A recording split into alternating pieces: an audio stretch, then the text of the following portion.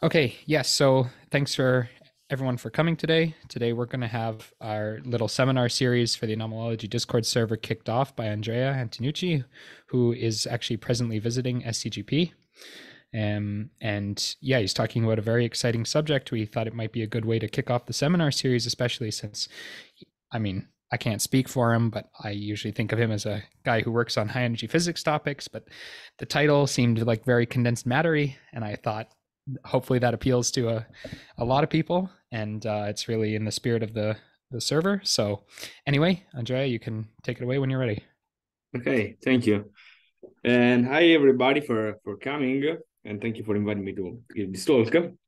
And have been told that this is supposed to be a quite mixed audience, including people from various from various fields and hopefully this will be actually a, a, a mixed talk i will talk about stuff from uh, statistical mechanics from high energy physics from holography from condensed matter from generalized global symmetries this is based on a paper i wrote together with giovanni galati giovanni rizi and, and marco serone and so all these all these topics have this common thread of, of random couplings.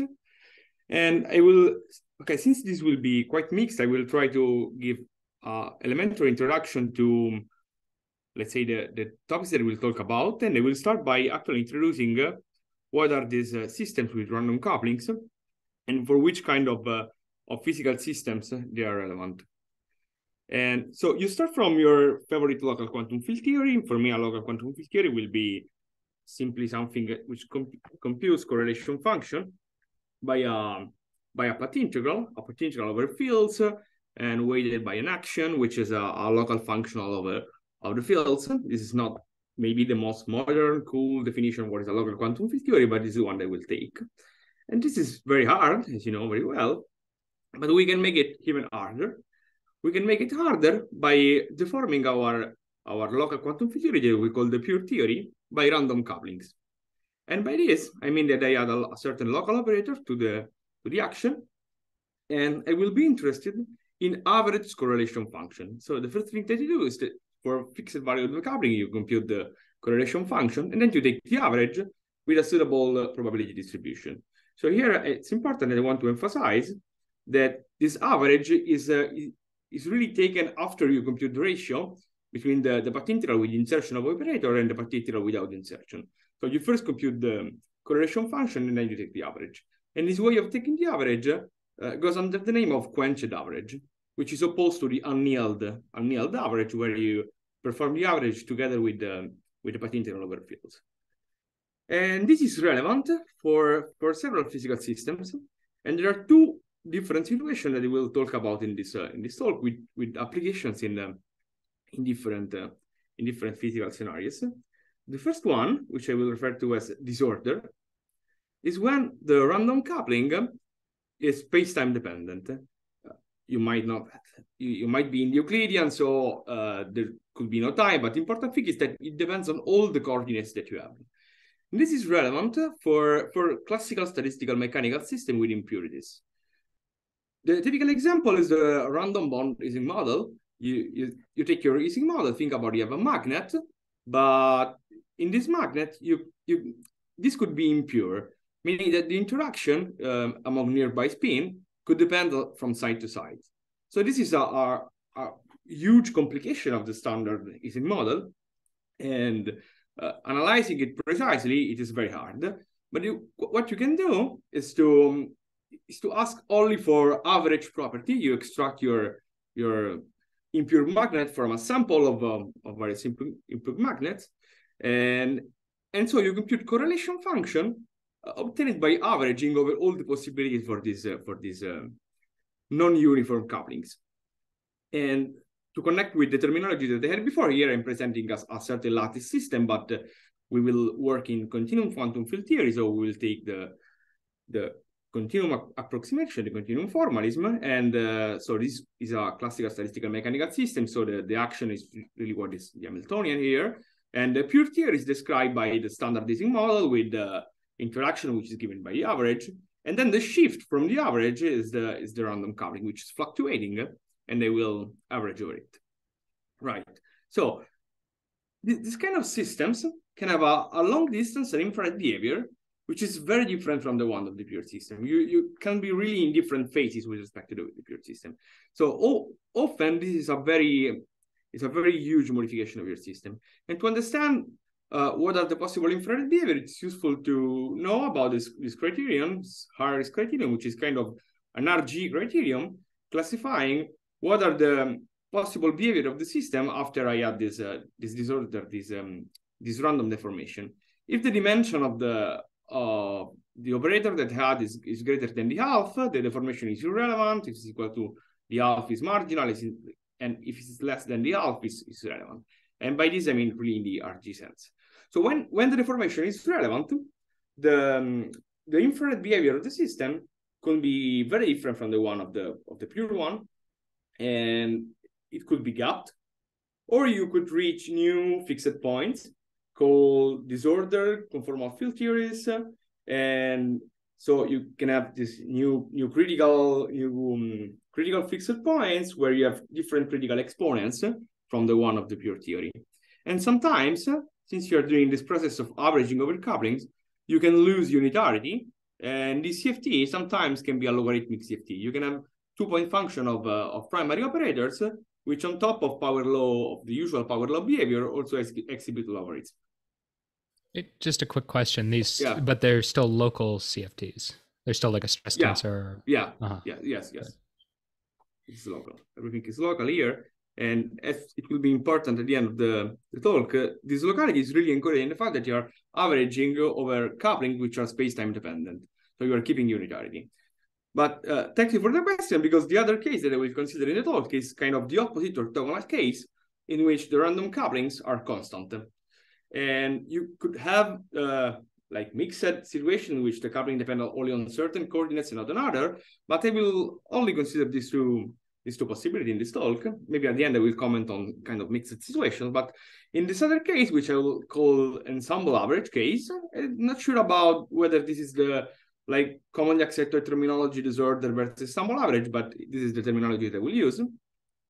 And uh, already from the example that I gave you from the, of the uh, random bond Ising model, you can understand that taking the coupling to be constant, this is, this is not relevant for statistical mechanical system.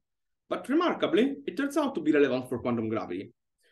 And to explain why this is the case, since maybe not everybody is familiar with this, uh, the usual uh, statement of the correspondence is that you want to consider quantum gravity in a, in a, in a d plus one dimensional bulk spacetime with fixed boundary conditions. So you're fixing the boundary manifold, you fix the boundary value of the bulk gauge fields, and so your quantum gravity partition function is supposed to uh, to sum over all the bulk possibility. And this is supposed to be equal to the partition function of an ordinary quantum field theory living on the boundary with background fields for this quantum field theory equal to the boundary values of the bulk gauge fields. Right, so this is the very standard statement of holography, but this is sputtling when you start considering boundary manifolds which are disconnected. And the reason is very simple. The quantum field theory partition function on this connected manifold factorizes. It's just a product of the partition function. But this is not quite so for the partition function of quantum gravity. Indeed, if you take the, the boundary which is disconnected, since quantum gravity is supposed to sum over all, all bulk geometry, including sum over bulk topologies, so you will have several topologies which are disconnected, but you can have topologies which are connected. These are commonly known as Euclidean wormholes, let's say. And so you can have disconnected boundaries with a connected bulk. And this is telling you that if this contribution are non-vanishing, your quantum gravity partition function will not factorize. So you cannot really equate to partition function with so different behavior under this if you put disconnected if you put disconnected boundaries. And the solution which have been proposed along the years is to replace a standard quantum field theory in the boundary with an ensemble average of various quantum field theory. So you take an ensemble of quantum field theory with different couplings, and you perform an average over, over all these couplings. This can solve this, this factorization puzzle because for fixed coupling, the, the uh, partition function of quantum field theory factorized, but then you take the average, and of course, the average of the product is not equal to the product of the average. So you might hope to solve this factorization puzzle with this different proposal. And here, let me emphasize that it is very important here that to solve this factorization puzzle, the random coupling constant must be constant. Uh, because if, if you take it to be space-time dependent, you will recover locality and, uh, and the partition function will still factorize. So you have to take it constant and you can hope to solve this factorization problem. Maybe I can just make a, a comment here. Yeah. Um, this is this factorization issue is an issue of semi-classical of the semi-classical gravitational path integral. Yes. We don't believe it's true in UV complete quant. It's an issue in UV complete quantum gravity. I completely agree. Yes. Yeah. Yes. Indeed, it is. It often arises in like, uh, let's say, effective theory of gravity. You Yeah. will not believe that it's true in string theory. But if you want to extend holography even for effective theory of gravity, you have to take into account this issue. And in in both cases, in but in the case of of um, constant random coupling and the one of space-time dependent coupling, uh, analyzing the system is very hard. There are very few analytic techniques that one can use. Uh, it's much more harder than studying usual quantum field theory, which is already hard, but this is much harder. And when there are such few analytic techniques, you often want to rely on symmetry. You want to understand what are the symmetries of the problem and understand if the symmetry can constrain what are the possible output of the of the physics that you want to discuss. But actually, before really asking what are the symmetries, we should ask what is the definition of symmetry in this kind of different physical situation. This might seem a stupid question, but actually it is not. And depending on what kind of physical problem you want to analyze, there can be different notion of what different relevant notion of what we, do we mean by symmetry. You know, in quantum mechanics, you, you say that symmetries are just operator commuting with the Hamiltonian.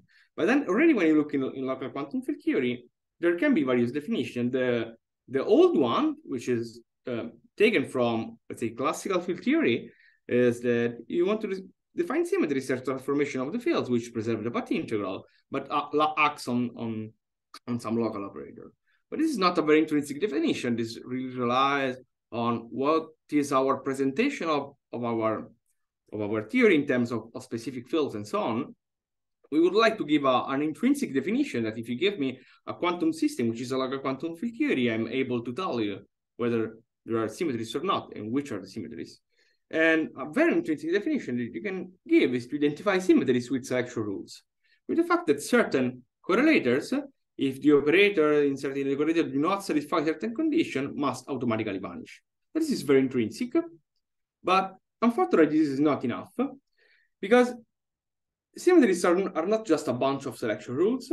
There are many things that we, we would like to do with symmetries. We want to discuss spontaneous symmetry breaking. We want to discuss the Landau paradigm, classifying the phases of, of quantum field theory in terms of how symmetry are realized on the vacuum. We want to couple our symmetry to background, discussing anomaly, engage. There are many, many things that we want to do with symmetries, which we cannot do by just knowing that there are a bunch of selection rules. So that the modern definition of what are symmetries in quantum field theory is to identify symmetries with topological operators. This is, if you if you think about it, it's really the most straightforward generalization of the definition we gave in quantum mechanics as operator commuting with the Hamiltonian. In that case, it is telling you that you can slide your operator a long time. Here we have a local quantum field theory, so, so we can um, deform the operator in, in every direction and we get a topological operator. The correlation function will not depend on the detail of the support, but only on its topological class. And this definition has several advantages. Uh, first, as many of you know very well, you, you can cook up various generalization, higher form symmetries, higher groups, uh, non-invertible symmetries, so on and so forth. You can give a unified description of discrete and continuous symmetries. Uh, and uh, putting a topological operator is equivalent to uh, turning on a background gauge field so you can discuss anomalies. So you can all the things that you like about symmetry are encoded in the knowledge of, of the fact that there is a certain topological operator, you can play with it. So we would like to extend this notion even to these systems in which we are averaging over, over certain couplings. And I will start to do it in the in the case of, of disordered systems, namely the coupling are now space-time dependent. And a typical situation is that you start from your pure theory, it, it, it has a certain global symmetry G, But when you add this uh, this coupling, this coupling can break the global symmetry. This will happen anytime that the, the operator that you are adding is charged under the symmetry. However, this kind of system are, are quite common even, I mean, really in reality, they are, I mean, every every system is actually not pure. So in, in real labs, you have to deal with impure systems. So there are really experimental observations you can make, uh, but as I told you, the systems are very complicated to study theoretically, so people employ uh, numerical analysis, and it, it is often observed that um, the if you just ask for the average property of the system, the symmetry will reemerge on average. Meaning that if you only look for this average property, the disordered system behave as if the symmetry is there. And from our perspective, indeed, that we are looking really at average correlation function, it, it turns out to be a, quite easy to prove that the average correlation function, even if you're breaking the symmetry with the local operator, uh, still displays several selection rules, namely that several average correlation function identically vanish if the sum of the charge of the operator is non-zero. And it is, it is easy to, to prove this by a simple spurionic trick in the path integral, namely assign formal transformation property to the, to the, to the random coupling. And let me emphasize that this, this um, the validity of this selection rule does not even require that the random coupling are space-time dependent. This derivation uh, is easy to apply also to the case of ensemble average. But as I told you, symmetries are much more than just selection rules. So we would like to give an intrinsic definition of symmetries in this kind of system, which goes beyond selection rules. Namely, we would like to construct the, the analog of a, of a topological operator, namely an operator which is topological but only on average. And I will actually give you the, the um, affirmative answer to this question in this disorder case. I will actually give you the derivation of it and this, in the simplest case of a, a U1 symmetry. And the reason why I wanted to explain the derivation, actually there are two reasons. One is that it is relatively simple, so I think it's uh, it's doable to follow the derivation here during the talk. But most importantly, I think that the derivation is quite illuminating there will be a certain crucial step that I will do at certain point, which, which really uses the fact that we are dealing with coupling which are space-time dependent. And this will be not possible in the case that we'll discuss later on of the ensemble average. And the, the failure of this, uh, of this step will teach us uh, several important things for this other class of system, the one in ensemble average, which are relevant for holography. Right, so let, me consider this uh, simplest case of a U1 symmetry. So in the pure system, you have a conserved current. This is defined the usual way by uh, performing a, a, transformation of the field, which is space-time dependent. The action is not invariant, usual thing. It is not invariant, you get this, this current. And if you, if you perform this change of variable inside the path integral with uh, external on, turned on, you arrive at the, at the Ward identity that you learn in textbooks.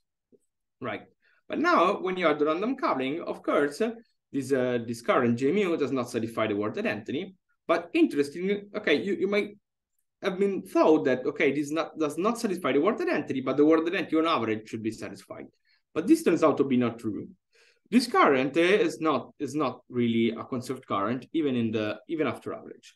So what's going on? Because I told you that we I will tell you that we will succeed in finding the analog of the topological operator, and the point is that we should do some more smart thing in the, in this derivation. And if, you think about it, as, as I emphasized at the beginning, it's very important in this class of systems that you perform this quenched average. You have to take the average over the coupling after you compute the ratio between the integral with insertion and the partition function. And so the more more smart thing to do is to perform this change of variable both in the numerator and in, in the denominator. And if you do this, you, you get two contributions in the ordinary case, this should be separately zero, but in this case, it is really the sum, which is zero. So these are like uh, ordinary Ward identities, but you have to combine in these ways. Uh, of course, if you take functional derivative with respect to the external sources, you will get a certain identity, which is this one. Can I write it?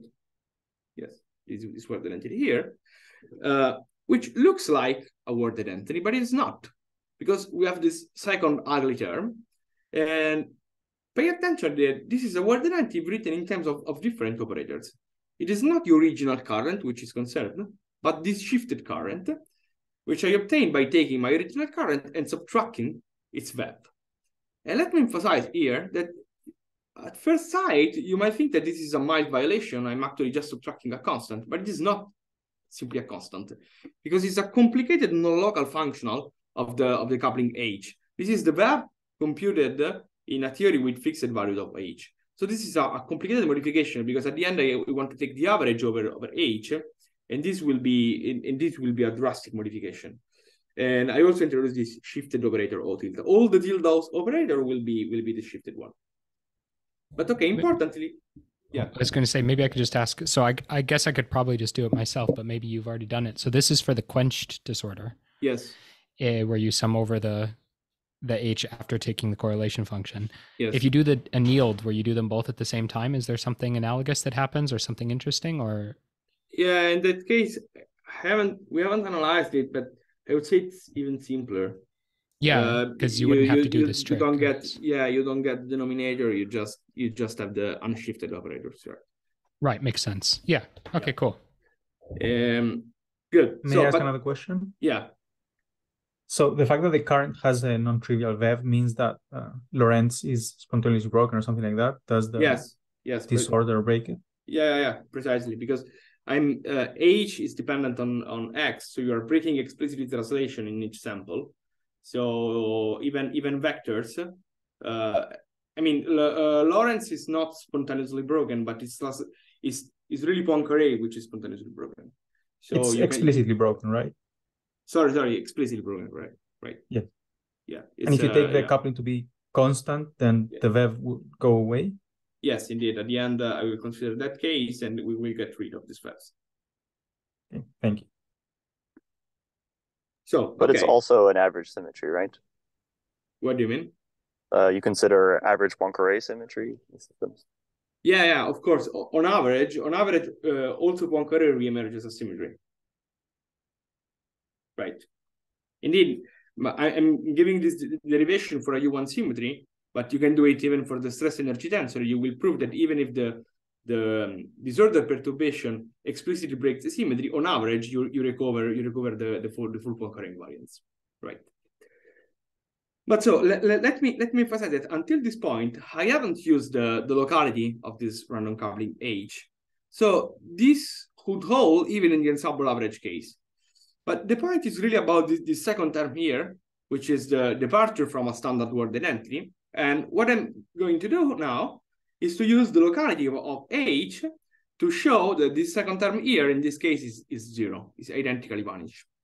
And uh, the crucial point is that even in the H path integral, you can perform, since H is uh, x dependent, you can perform this change of variable, which is x dependent.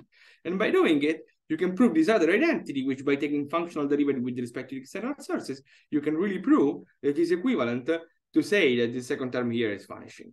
So in this case, in this uh, in this disorder case, you can really get this, this Ward identity for this shifted current. And let me emphasize again that this looks like a, a very standard Ward identity, but it is not for the original current J. It is for this shifted current, which has a, a term which depends on H and enters strongly in the average in the average of, um, of H. Right. So this is not a mild, a mild uh, modification at all.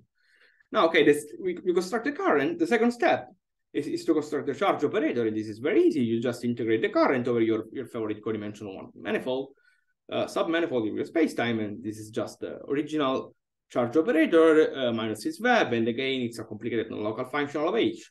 But then you want to do the third step, just construct the finite symmetry operator, and you may say, haha, okay, this is very trivial. I just take the exponential, but this is this is wrong. This is wrong. The exponential is not going to work, and you you can you you can uh, convince yourself that this is not going to work even by expanding that at the second order. You will see that the the operator obtained by the square of the of this q tilde charge is not what measures the, the square of the total charge. But I'm not going to give you the details, but the actual symmetry operator, which is going to work, is actually the ratio of the original uh, topological operator of the pure theory divided by its VEV, right? So, okay, you, you, you have this operator, which again is H dependent, uh, and this turns out to be the analog of the topological operator in this disordered system. It's, an, it's, a, it's, a, it's a symmetry operator, which is topological only on average. If you take it in, a, if you put it in, in a normal correlation function, it will not be topological, but it turns out to be topological when you when you look only for average correlation function. And from this, you can you can do many things because now we have the topological operator, so we have the intrinsic general definition of what are symmetries in this kind of problem. Notice that this this formula above makes sense even even for discrete symmetry. So you can generalize to, to discrete symmetry, you can do whatever you want, you, and assuming that there is no spontaneous symmetry breaking, of course you can prove selection rule. You already knew about selection rule, but you can also prove it starting from the topological operator. Then Putting a topological operator is equivalent to turning on a background gauge field. So you can couple the symmetry to background fields and lack of gauge invariance under a background gauge transformation allows you to define anomalies. So you can put constraints on the long distance uh, uh, behavior of your, of your systems. So you have many, many more uh, analytic techniques to give proposal of, on, on the behavior of your system. Uh, moreover, uh, something that you can prove is that your if your original pure system has a, has a symmetry G with a certain anomaly, let's say a bosonic anomaly, omega, and if the symmetry reemerges after average, it reemerges with the same anomaly. So it, it's even easy to, to compute the anomalies in this case. And you can do many other things. For instance, even if the symmetry is trivially gapped, you can have non-trivial SPT phases for, for this symmetry. So you can start discussing phases of matter, which are protected by this disordered symmetries. I will call them disordered symmetry, and you can do many other things. You can gauge it and so on and so forth. So you really have a, a, a topological operator. You have an intrinsic definition of what is a symmetry in this uh, in this problem, and you can analyze it as you do in in standard local quantum field theory. So, uh, other question, or I can proceed to the next case. Yeah, maybe I can just ask. So, yeah, do you you showed a sort of general theorem there, but is there any other sort of general theorem about like if your original theory had G symmetry, under what conditions does the ensemble theory have an emergent averaged G symmetry, etc.? Like, are there theorems of that for, form or? Yeah, so, sorry, I, I haven't mentioned this, but you, you have to take a specific uh, probability distribution. I mean, not, not specific yeah. probability distribution, but there are conditions on the probability distribution. Sure, sure. So like when you're averaging over H, like you, if you put some Gaussian distribution, do you generically recover? Yeah, like with, you, you with, yeah. with, with Gaussian distribution, yes, basically always. Okay. For, yeah. uh, uh, for instance, just to, to give you the example, if you if you have a U1 symmetry, any any probability distribution which depend on only on the combination H H bar will will uh, tell you that you will recover the symmetry. Mm. If you have something like H plus H bar, you will not. Right. Yeah. I see. I see. And you essentially you just want the distribution to be symmetric, right? Yes. Yes. Yeah. But you you, you have to specify what does it mean symmetric. Yeah. But, but basically, you assign opposite uh, symmetry property to H, the one that, that you have on or not. Yeah, you you you give a formal a formal representation to H, and uh, under the formal representation of H, the probability distribution must be symmetric. And the, for any any symmetric probability distribution, we, will recover the symmetry. Right. So now I want to slowly move to the case of ensemble average, but to, to develop some intuition, I think it's, it's worth mentioning another another approach that you can take in this kind of systems, um, which kind of, of relates this this uh, random coupling system to ordinary systems. So you can develop some intuition and understand why this ensemble average case behaves so differently with respect to, to the disorder case, as I will explain. And this, this is a standard technique as a, the, the replica trick, which is can be used many times to analyze the system with random couplings. Uh, the version that I will use, the version that I will use is simply uh, start from the observation that the the um, generating function for connected correlators can be obtained in this way by by uh, taking the n power of, of the partition function, assuming that you can analytically continue n, and then you take the derivative and, and you take this, this limit n going to zero. So there are several very delicate operations that you are doing here, but it is it is known that uh, in large class of systems this is going to work.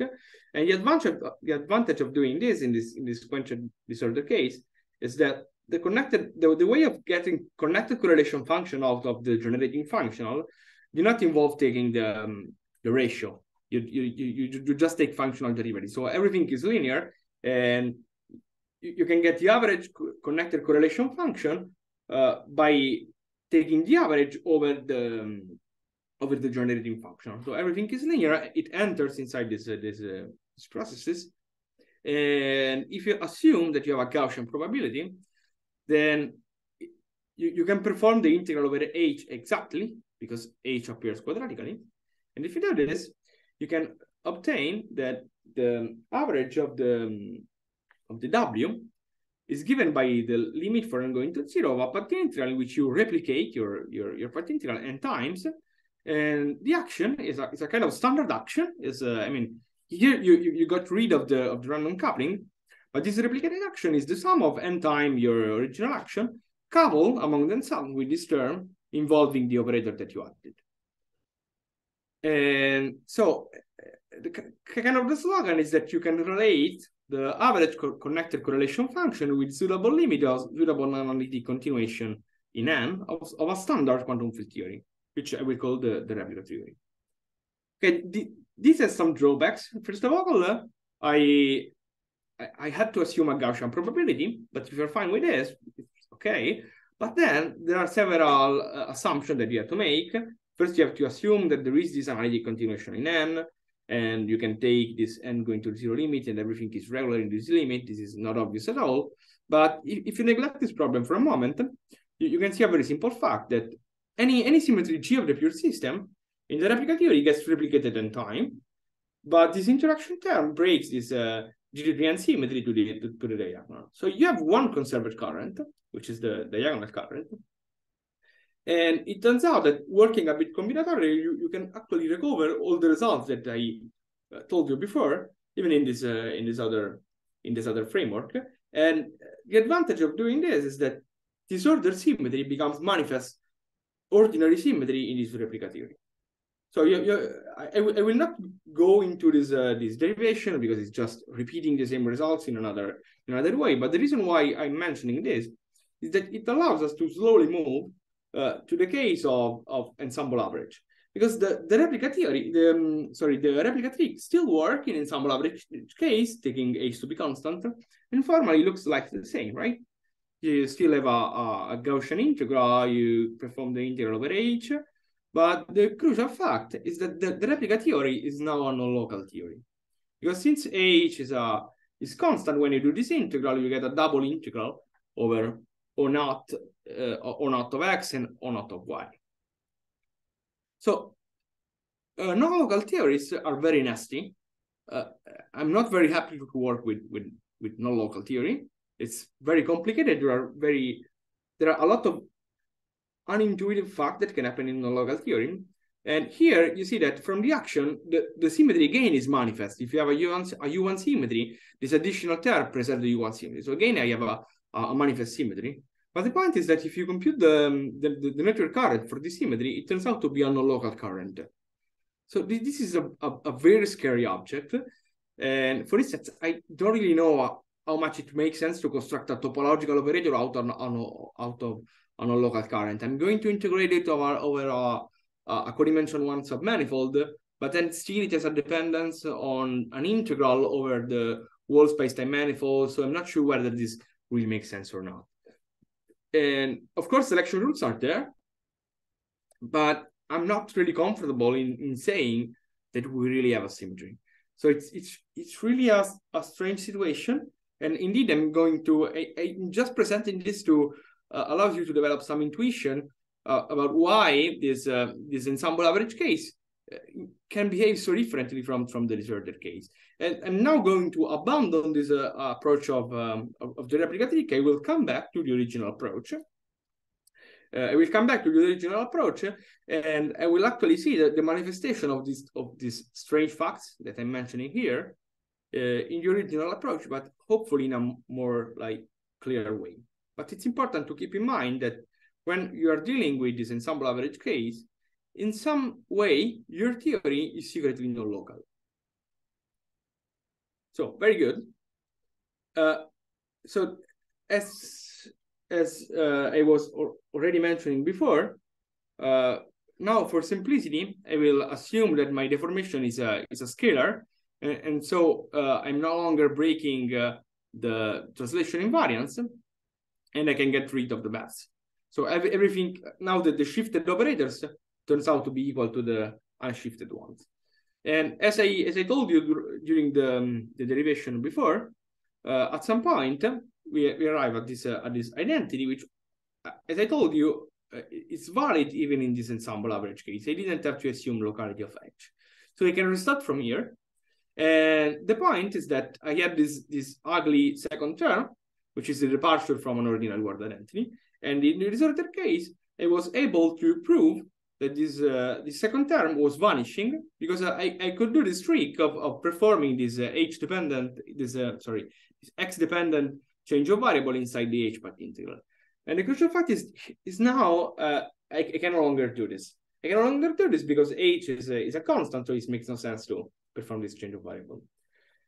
But okay, uh, just for rotation, I will call this uh, this this term h or not with this curly d, depending on a, x and h. And but okay, so the best that I can do is to perform a constant change of variable in, in h. And if you think about it for a while, this will not prove that the second term is uh, is zero, but it will it will prove that the integral of this term over the full spacetime is is is uh, is zero. Let me emphasize that this is the full spacetime, right? So on average, every correlation function with the insertion of this operator will not be zero, but its integral over the, the variable on which this, this d depends is zero. So this is a weaker condition, right? But of course, it is enough to prove selection rules because if you take this, this identity and you integrate, if you assume that there is no spontaneous symmetry breaking so that the current vanishes at infinity, you can prove you can prove selection rules. But I, I wanted to construct a topological operator. I wanted to do many other things with symmetry. And here it seems we're in trouble. But what we can try to do, and indeed uh, there will be important differences, but there is something a little bit better than just saying that we have selection rules. And what uh, what we can try to do is to construct this operator, which depends on a on a codimension one manifold, sigma d minus one, but it also depends on, on a filling region, on a region whose boundary is your codimension one manifold. And from the uh, obvious charge operator, you are subtracting this term, which is integrated over a region, which is a term depending on this d, this h or not. Right? So you can say, but what are you doing? This is not a codimension one operator. This seems to make no sense. It seems that you, you could even do this for any explicitly broken symmetry. So why am I doing this? And if you trust me for a moment, I will uh, explain that constructing this operator is not that crazy. is not a useless thing to do. It's not just formal, but it implies consequences. First, okay, notice that since I need a filling region, uh, it turns out that I can support this operator only on homologically trivial manifolds, right? But now let me consider the first case in which I am taking my, my spacetime to be a connected a connected spacetime. So every every homologically trivial codimension one manifold will divide my connected spacetime into connected region. This is kind of generalization of the Jordan curve theorem that you learn in textbook. And okay, this is kind of obvious. So you have, but the important thing is that you have only two possible regions. So you don't have so many possibilities for what is this filling region because as I told you, the main drawback that you can think about from this operator, it's not really a codimension one operator, it depends on the choice of a filling of, of a filling region. But in this case, there are only two filling regions that I can choose. And if you compute the, the difference between these two these two Q hat operator, you, you get that the difference is just the integral over d of over the full spacetime of d of this uh, of this curly d operator. And because of the condition of the weak, weaker condition that I gave you before, this operator is not zero, but it turns out to be zero on average, right? So on average, these two possible Q hat operator with different filling regions are, are, are, are equal on average. So in, in, in connected spacetimes, there is really no dependence on the filling region. And so we can really say that this Q hat operator is a genuine co-dimension one operator, which is which is topological on average. So this is a, bit better than just saying that we have that we have selection rules, but still there are important differences. Uh, I mean, as I told you, it, it is required that this co-dimension one surface is homologically trivial. So G, the symmetry G, even if it reemerges on average, if you want to call it symmetry, it cannot be coupled to background gauge field. There is there is no concept of background gauge field, so there cannot be any concept of anomaly. There cannot be any concept of, of gauging the symmetry because it's it's. I mean, it's an operator, but it cannot put on homologically non-trivial manifold. So there are restrictions on where you can put the operator, and, and so homologically. So, yes. So, um, is this operator invertible? Yes. Then I'm I'm a little bit confused because it seems like it'll always be the trivial operator. Um, because if it's if it's topological and invertible, then it's invariant under homology deformation. So if you insert it on a trivial homology class, you should be able to deform it to deform it to nothing. And so it looks like it would always act as the identity operator. Am I making a mistake there? No, but if you have insertion of charged operator, when you, when you pass it, you will get phases. It's like the usual thing. But then it won't be inserted on, homo- on a homolog- homologically trivial cycle. No, so, so sorry, sorry. I, I, I, it wasn't that precise. It must be homologically trivial in um in the in the space time, no, not in the space time with with with operator removes. So maybe just to to understand that. So if you insert another operator in the volume of support of this this curly d yeah does it still is it still yes, it still vanish on average even with any other operator even with a yeah. charged operator insertion yes yes yes uh, okay. this, is, this is just the content of this identity you see identity. for any other operator insertion yeah yes it is really the it's only the, the topology of spacetime which can change its output. And indeed, I mean, does this mean that you can that that's, that sort of suggests to me that you could then define this operator on top, homologically non-trivial cycles as well? Um, no, I mean, it depends on, on homologically non-trivial in which manifold. I'm saying it it it, it can be homologically non-trivial in the manifold that you obtain from your spacetime by removing uh, certain operators, right? But uh, the it, it, it cannot be homolog it cannot be homologically non-trivial uh, just in the spacetime manifold. It That's requires... a little bit confusing to me though, because if you have a if you wanted to insert it, suppose you want to insert it on a on a cycle which is homologically non-trivial, you could imagine states take a neighborhood of that cycle imagine states running in that and then apply some you know hand waving and state operator correspondence and then you've told me how to define its action on operators and states and so i it, it seems like you might be able to define it on a general cycle but it might be more complicated. I don't know. I don't know. Um, the point here is really that you start from from from this identity which tells you which kind of operator you can insert. Maybe maybe it could be that not all operators can, can be inserted. I don't know. Here it is just that certain operators are allowed to be inserted on the on the let's say world volume of these of these operators, but sure. you cannot put it you, you cannot put it like on, on a homological non-trivial cycle of a torus. Are you sure you can't put it, or you just don't know how to put it? I don't know how to define it. Okay, say. okay, okay. I don't know how to define. Well, can't it. you just say you go to the replica picture, you can, what's the problem with defining it there? We just want to define boundary conditions, right? Oh, Twisted yeah, boundary in, conditions for all of the fields. In the, in the, in the replica and picture, okay, it looks weird because it's a non-local theory, but the action will still be invariant. Right, okay. Uh, thank you for the question. In the in the replica theory, this operator has its appearance. It looks a, a bit um, different. I think we actually wrote it in the paper. What is the form of the operator in this um, in the replica theory, but still you, you get the same problems.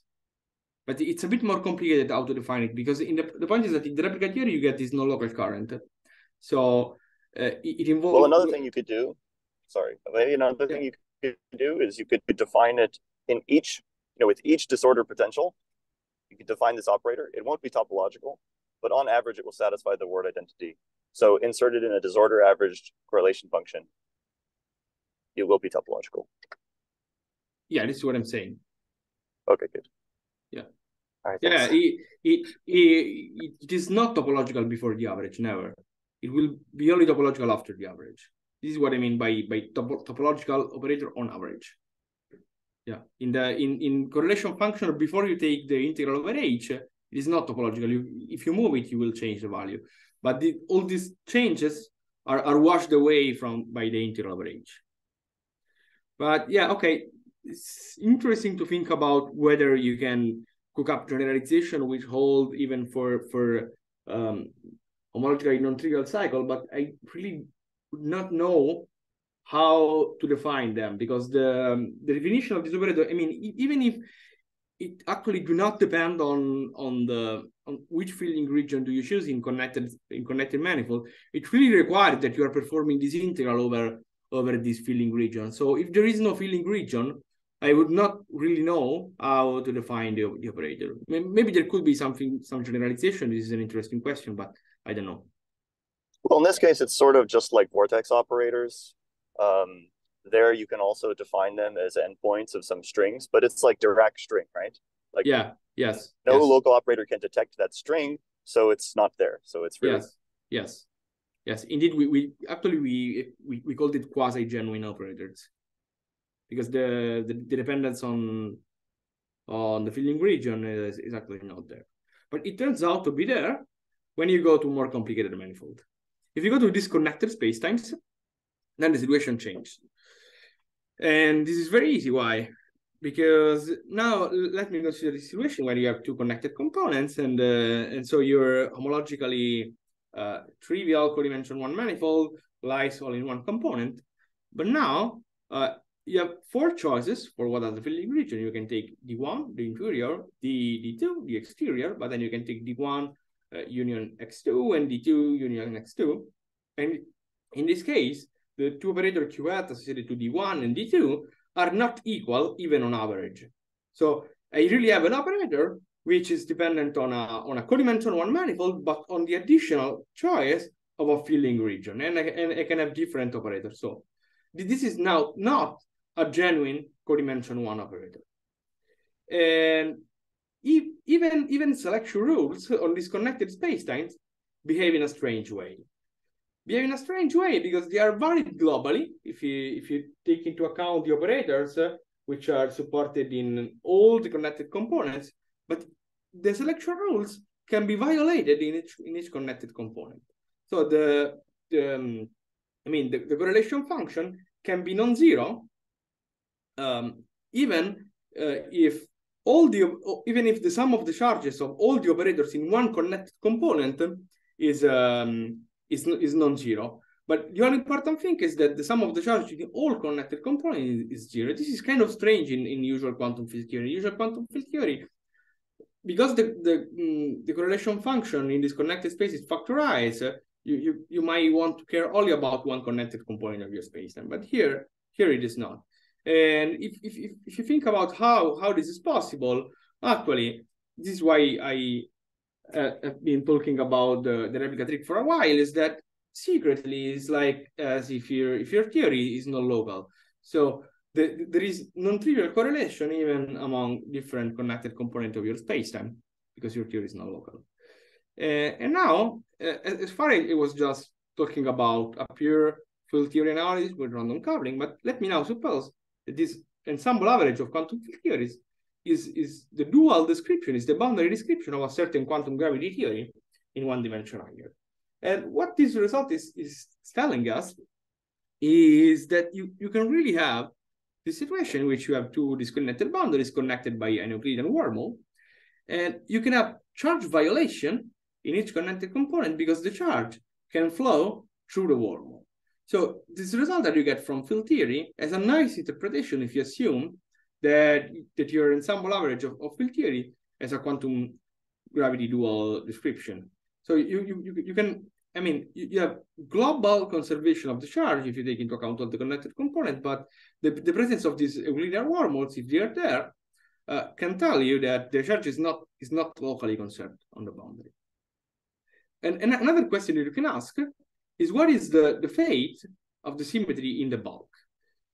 Because I mean, in standard holography, you know that the usual correspondence that global symmetries of the boundary quantum field theory are, are related with the presence of gauge fields in quantum gravity. And the correspondence is such that the boundary value of the gauge field of the quantum gravity theory is equal to the background gauge field for the for the global symmetry.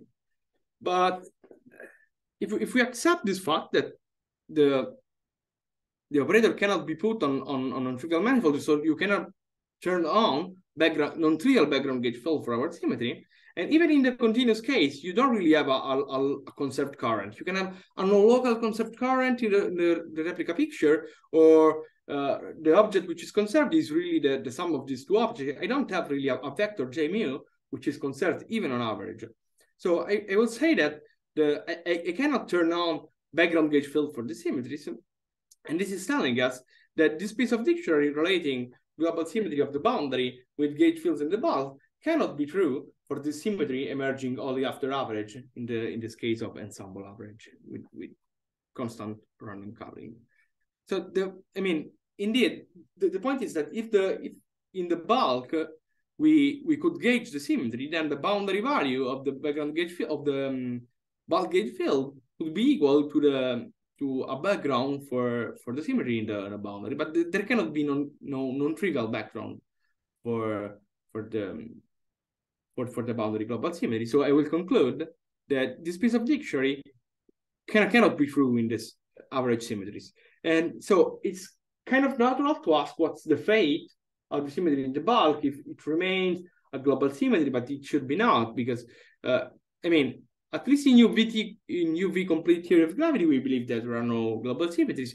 Here, we are not dealing with UV complete theory of gravity or effective theory of gravity, so there might be that there are global symmetries, but it's really a question for the gravity theory to decide whether this, this symmetry is, is broken by some non-perturbative effect or, or remains a global symmetry. Here, we are we're just like drawing some conclusion from a pure field theory analysis. Actually, maybe, maybe I could could comment on that. Yes. Um, I would actually say that I think this is exactly a global symmetry in the bulk. Um, uh, we've talked about this some in, in, in my paper with Cameron on, on baby universes. Um, but th this, this sort of, this is exactly what would be holographically dual to a global symmetry, and it corresponds to the existence of an alpha parameter or the, the ensemble average. Hmm. Um, and it's exactly for this reason that we wouldn't expect this in UV complete quantum. We wouldn't expect an ensemble average in UV complete hmm. quantum gravity. Yes, I, I, I, I agree. I agree. But there, there are certain papers uh, arguing that the symmetries, even if it appears to be global symmetry in in uh, in the quantum gravity, then the symmetry must be broken by either non-perturbative effect or because of the presence of replica wormholes. So, to to to to explain what's happening there, so replica wormholes will will break the symmetry exactly as in the way you've described, right? They will they will violate the local conservation of the charge. And what if, if you if you trust the replica trick, what it tells you is that the symmetry is broken into in every member of the ensemble in a member of the ensemble. But in the entire ensemble, the symmetry is preserved. Um, and in, in general, wormholes you you need the, the assumption you need to make is is that the replica trick is valid, which is secretly assuming some amount of UV completeness of your theory. Hmm, I see. Th- that that including replica wormholes in the gravitational path integral is valid. That is a highly non-trivial assumption and amounts essentially to assume in some way amounts to assuming some amount of UV completeness of the theory. Um, yeah happy to talk about it more. I don't want to derail it, but I, see. I, I would say that this is this is a global symmetry in the bulk. Okay, thank you, thank you very much for the comment. Yeah. So okay, let me let me conclude with some final comments. Uh, before I talked about disordered systems, and, and I think that this kind of, of disordered system of disordered symmetries could have many applications. There are very complicated problems in this uh, in this complicated system, and you can hope to put some constraints on the IR on the long distance physics, excluding or proposing uh, several scenarios. So I think it's something which is worth to analyzing further. And moreover, I haven't talked about, and we haven't discussed uh, in great detail, spontaneous symmetry breaking of, of disordered systems. I always assumed the absence of spontaneous symmetry breaking, but you can think about uh, a scenario in which you start from a, a theory of the pure system, which is which is realized a la Wigner. You you break it explicitly by a disordered deformation. It reemerges after average, but it reemerges, but it's spontaneously broken. So I think that perturbatively you, you can kind of, of rule out this possibility, but per, non-perturbatively it could be. And it would be interesting to analyze it. And something that I had no time to talk about is the, is the possibility of having emergent in the IR disordered symmetries. Uh, and, and the relation with, and yeah, and there is some relation with logarithmic CFTs in the sense that what we uh, show is that if you take into account this possibility that a disordered system only emerge in the IR, you can analyze the, the prototypical example of an emergent symmetry, which is conformal invariance. Uh, and you, you, can write down the Ward identities, the, the disordered Ward identities for conformal invariance. And by solving uh, this Ward identities, you, you can actually see that generically, your uh, your critical point will, will be a logarithm. It will be like a, a logarithmic CFTs. Uh, sometimes you, you can rule out logarithms by assuming that there are symmetries which are preserved by the, the, the disordered deformation, and you can rule out logarithms appearing in uh, in uh, correlation function of operators which are charged under the symmetry. But generically, uh, you would expect by I mean you, you can really show this by by solving the Ward identities. You can you can see that generically there are logarithms appearing. And then, okay, an interesting question, of course, is to ask whether there are non-invertible disordered symmetries. We we have we have thought a bit about this, but I mean, we haven't found such interesting results. So, but I think it's it could be there, and it's worth exploring it.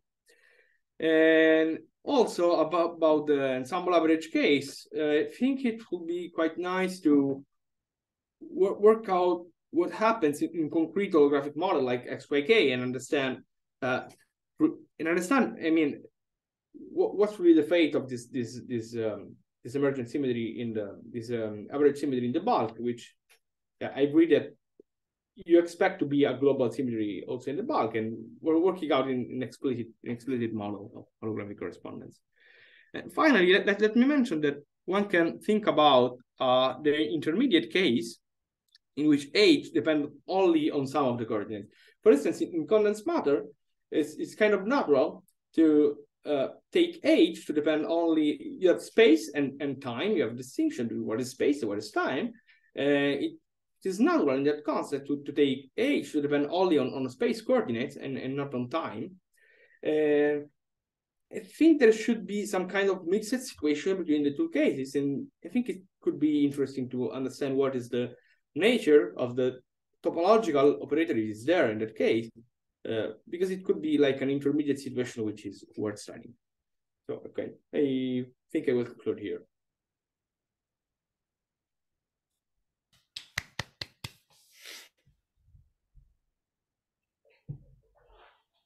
Okay, well, thanks a lot for the talk. I there was questions in between, but does anybody have questions now at the end or? Yeah, uh, thanks for a very nice talk. Um, could you elaborate a bit on the spontaneous symmetry breaking? You said it can't happen perturbatively. Yeah, I, I think you, you can start from just writing Lagrangians. Uh, you will see what I mean. For, for instance, you have a, a quadratic term, and and and you see what kind of interaction is, is turned on in the in the in the replica tree. Uh, you see that the sign of the of the term which arises is is never the one which allows you to to spontaneously break the symmetry. If, if you do it explicitly with Lagrangians. So if you if you want to have a a, a spontaneous breaking in, in, perturbation theory, like with maximum potential, I I tried to to cook up Lagrangian doing this, but uh, I think it's not possible. But in I see. So wait, can I try to reflect that back at you? So are you saying that so the disorder field, let's call it like H, couples to phi, like h times phi, and the potential you get is coming from the two point function of h, which has a definite sign. Yeah. So that's the idea, right? Yeah, yeah, yeah. I see. But even if you just like perform the h path integral in the in, in, in the replica trick, if, if you start from a, a sensible probability like minus uh, h square, which is minus h square, right? So it is not plus h square because otherwise it will it's ill-defined. If you start from a sensible probability, then uh, you will see that the sign that you generate in the, the replica theory is not the one compatible with spontaneous multiplication. But yeah, in, ge in general, in general, it, it could be if you if you take strong strong disorder, which we cannot treat it with, simple with with Lagrangians, uh, that you can have a, a, symmetry of the of the pure system, which is not spontaneously broken, but it could emerge after the average and it is spontaneously broken. This is a kind of exotic, but it could be an interesting scenario. Thanks. That's very interesting. Yeah. Uh, I also have a question. Very nice talk. Thank you. Um, I think I understand a little bit better based on the discussion of the, the bulk interpretation, this idea that you can't put the symmetry operator on non-trivial cycles because that would correspond to turning on a background for a gauge field in the bulk or boundary value for a gauge field in the bulk. Um, is there a way to understand this this constraint in terms of the non-locality of the theory? Um, I mean, it's obviously some sort of non-local constraint, but is there some more direct way to see why the the fact that the theory is non-local means you can't put it on homologically non-trivial cycles? Right, right. Yeah, as as, as I was mentioning, uh, this uh, this operator have a counterpart in the replica theory, and, and mm-hmm. yeah, in, in in the replica theory, you, you kind of find uh, the, the, the same constraint, which which really comes hmm. from from from from non-locality. You, you have you have to do this double integration. So, I mean, I'm not I'm not very comfortable in, in doing this because I mean, you have to deal with these non-local currents. Uh, it is not completely clear to me because you, you have a double integration. One only runs over the, the support, but you have another integration with which is over the, the full spacetime, which is the one which is defined for your current. Hmm. So it's a bit of a strange object, and I'm not very happy and comfortable to deal with it. But actually, if you trust it, you, you can recover the same results. Awesome. Great. Thanks. Yeah, very nice talk. Yeah.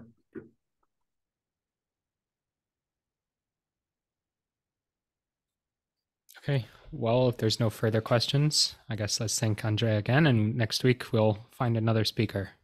So, yes. Thanks. Oh, yeah. Do we have any volunteers from the audience? Yeah. Oh, no, they're leaving. The volunteers are leaving. no, don't leave. No, no.